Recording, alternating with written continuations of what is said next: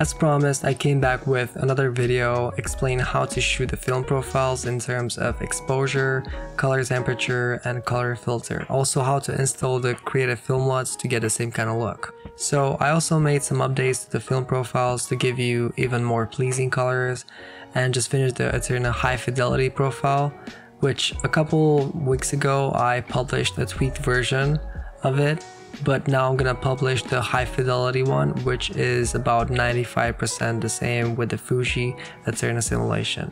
So now it will be much easier to color match these two camera brands or just get better color out of the Sony camera. Uh, also working on a new classic chrome Kodachrome 64 from Fujifilm and we'll post a video about that in the following weeks. So let's get started. This video is shot on Fuji 400 and the first profile that has been modified is actually Vectro 100. The only modification brought to this profile is a decrease in the black point which was lowered to minus 15 to actually just increase the contrast. Uh, next on the list is the Fuji 400.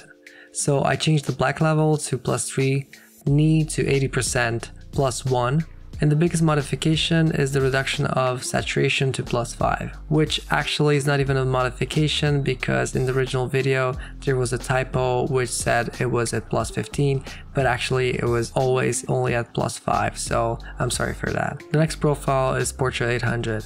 So initially the Portra 800 was made to give you a candy look, but uh, nowadays I'm using this profile for commercial work so I was looking for something a little bit more natural, neutral, you know.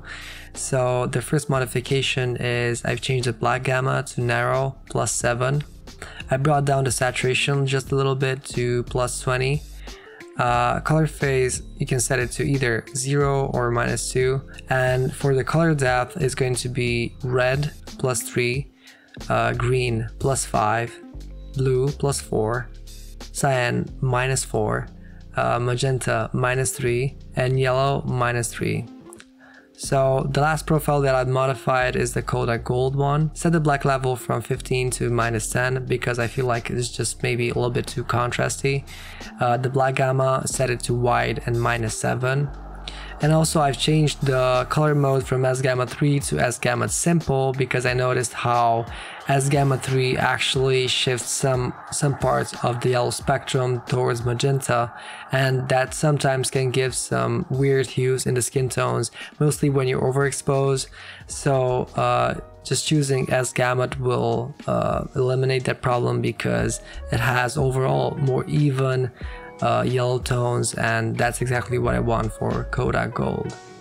Okay, so now that we're done with the modifications, uh, let's see how we can shoot these profiles to uh, get similar results. So initially I made these profiles for myself, uh, but after I saw how well they came out, I just really wanted to share them with everybody else. So with that in mind, uh, my style is just a little bit more moody, darker, you know, with a typical color scheme. So, you know, my some people might say like uh, all my shots are underexposed or my skin tones are not accurate. And yeah, you're right, they're not accurate because it's not supposed to be. You know, if I would be shooting commercial work, yeah, I would be shooting differently. But right now I'm trying to achieve something more artistically like a film look. So as a general guide, I usually Besides Portra 800, which I overexpose by one or two stops, uh, with the rest of the profiles I usually tend to underexpose uh, by half a stop, one stop. Sometimes if I want something more drastic or if I'm doing street photography and I'm working with silhouettes and a lot of contrasty, you know, dark scenes, then I'm, I might even uh, underexpose three stops, four stops, you know, five stops, depending what how harsh I want the light the lighting to be. So um, as for color temperature, I usually just stay away from the correct color temperature. So for example, if you shoot daytime, you usually want to go for 5500. But if you want something more artistic, like uh, if you're shooting film profiles, you might want to go 1000, 2000 under or above the normal temperature. Uh, for the color filter, this is this is very subjective and depending what colors you have in the scene, and want what you want to emphasize also on the profile. But um, most of the times I think the safest suggestion would be just to go cyan green. So probably something like C3 uh, G1.5 in the color filter, that would probably give you the best results in any situation. But I will still give you uh, general guides for each profile. Uh, so you can find it easier to start working with these profiles. but I will still give you general guides or suggestions for each profile individually so you find it easier to start working with them. The first profile is Vector 100.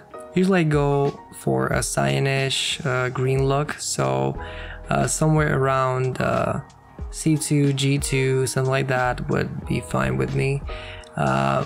Nighttime I usually shoot 3900 or 4200 uh, with a super yellow filter, giving it a warm look. But it can also go super warm uh, daytime or nighttime, so uh, you can go, let's say, 2000 Kelvin above normal, and then emphasize maybe a little bit more with some yellow filter or red filter. So maybe go something like, uh, let's say, I don't know, uh, A3, A4, and uh, or you can go A3 and G4 to give more of a yellow look.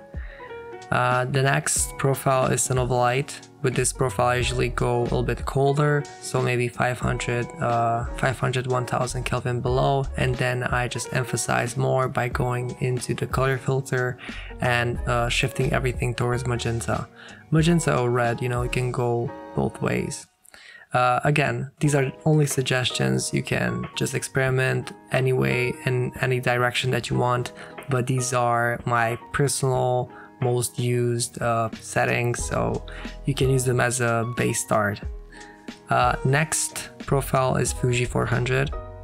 This actually works well in both colder and warmer tones, so go for a cyan green look or sometimes just lift up the Kelvin by 500 or 1000 and that should work fine. But this is a super versatile uh, profile, so you can underexpose it, overexpose it, yeah, and you can use uh, you know the temperature in both ways, colder tones or warmer tones. So just play play around with it, okay?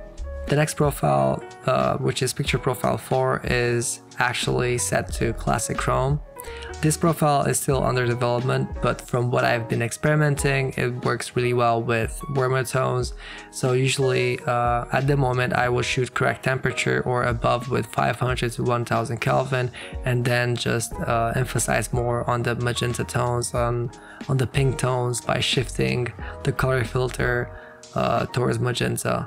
Probably something like M2 or something like that. Next profile is EVE Pro Plus. It's a versatile profile, but usually I shoot colder with this profile. Uh, so maybe try going 2000 Kelvin below normal with a green tint. So uh, just drag the color filter towards green, maybe G2 or something like that. That's my personal preference, but you know, it's a pretty versatile profile again, like most of them.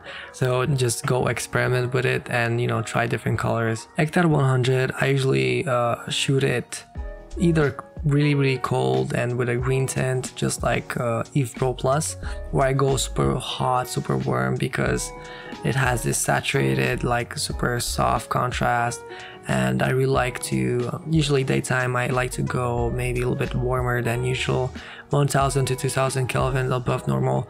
And uh, from there I just you know depending what kind of colors I have in, in the scene I just uh, emphasize more on the yellow tones or on the uh, red magenta tones.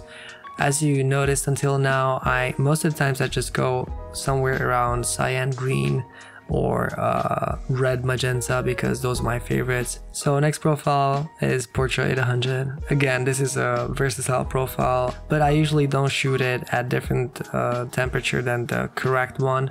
So let's say if it's daytime, I, I shoot it 5500 because I like to have the full spectrum of color. I usually use it to further color grade, but you can also use it uh, with more uh, creative stuff just like I did in my last video of Cinestill 800T look.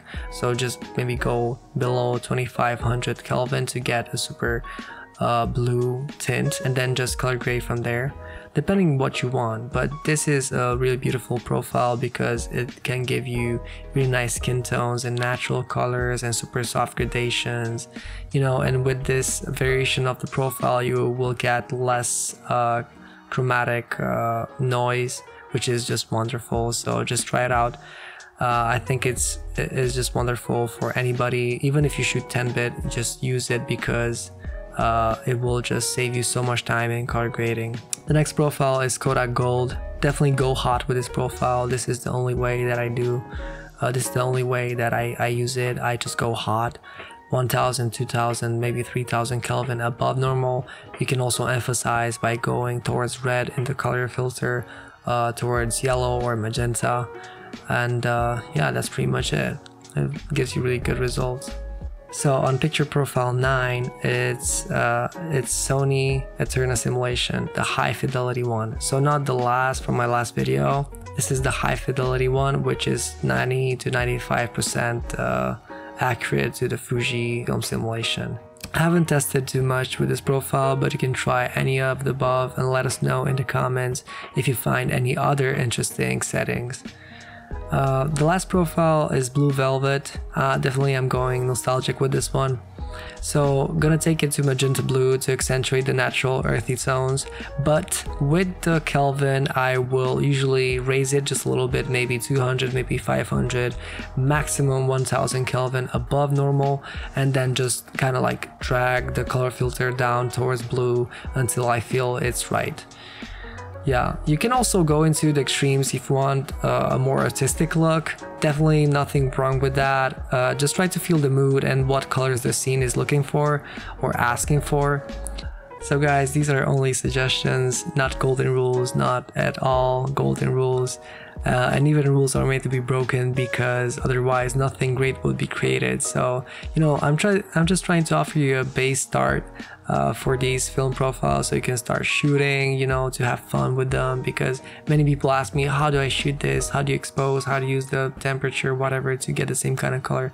So this is it you know like uh, this is how I usually do it but don't limit yourself inside the rules just try to experiment you know with color and with exposing and just try to feel your gut you know that's what it's about I'm never thinking like I'm not following rules usually. I'm not thinking like, oh, I usually do this or I usually do that. No, I'm just looking at the scene and I'm kind of trying to feel my gut like what colors I should emphasize, how should I expose, you know, because sometimes I overexpose, sometimes I underexpose. So you don't need to follow these rules like they are made of gold. Yeah, um, currently I'm working on a classic Chrome or Kodachrome 64 profile and we'll be releasing that in the following weeks together with the high fidelity Fujifilm Eterna profile. So subscribe to uh, see that video coming up. Let me also let me know in the comments if if you want any film profiles or what film stock you, you would like me to uh, simulate. I will check into that. If it's possible, I will make it. So let's see and it's just wonderful how Sony has given us so much control over the final image inside of the camera. And pretty much no other brand is doing this you know like Fuji's doing something but they won't let you actually control the luma values of the colors. And you know they don't have as many color modes as Sony.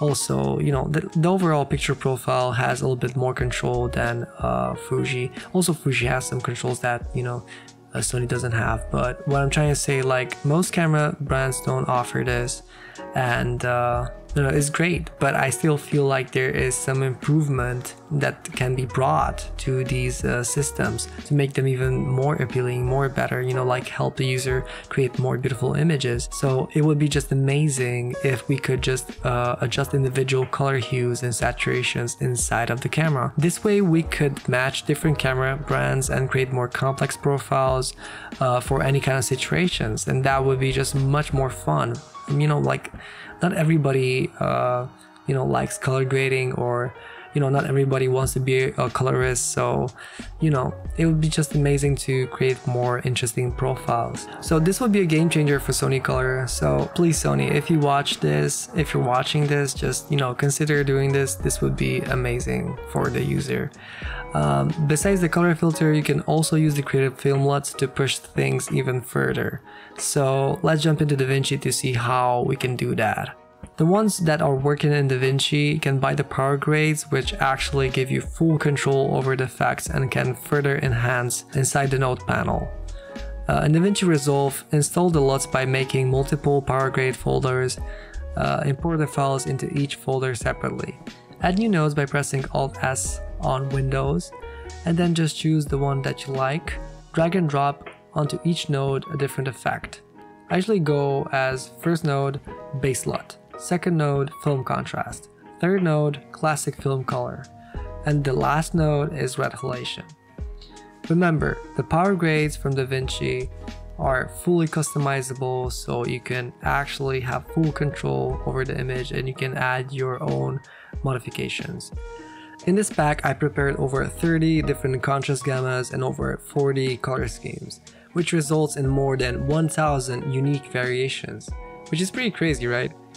Also snuck in the exact same LUTs I have used in the original video for each profile, plus one extra. So yeah, have fun experimenting, you definitely have a lot to experiment with.